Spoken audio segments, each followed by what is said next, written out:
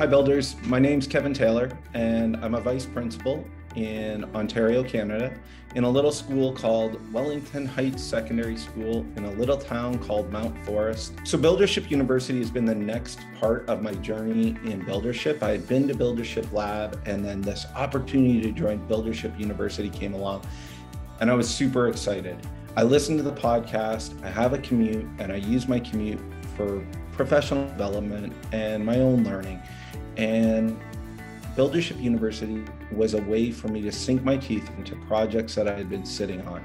The sprints are amazing. The first sprint I did was building my dashboard for staff and developing uh, a tool that I could evaluate staff very quickly on and give very good feedback. And it was really neat because even though we were separated, it was all done virtually. It was a group of like minded people who were sharing and energized and positively feeding back. And it was exhausting over the number of days that we did it, but it was fantastic. And the result of that has been huge. Also, I, I can't tell you how great office hours are. I'm one of the weirdos who shows up just to have a cup filled. I'll show up, I'm first in sometimes, and Robyn says, Kevin, I think you were the first one here. What can we help you with today?